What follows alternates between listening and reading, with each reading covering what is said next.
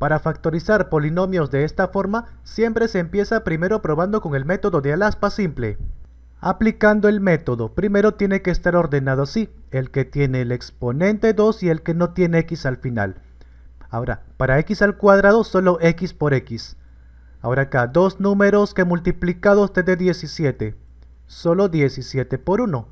Ahora, acá, dos signos que multiplicados te dé menos. Puede ser eh, menos por más o más por menos. ¿Cuál me conviene? Como acá el medio está con más, me conviene colocar este más al mayor de estos, o sea, el 17. Así que acá menos, porque más por menos es menos, tiene que ser. Ahora, para comprobar que todo está correcto, se multiplica así en diagonal. x por menos 1, menos 1x. x por más 17, más 17x. Menos 1 más 17 es más 16 con su x. Y como salió igual a lo que está aquí al medio, todo está bien. No hay nada que cambiar. Así que se copia de frente. Sería justo así. Y acompaña la segunda fila que es x menos 1. Respuesta.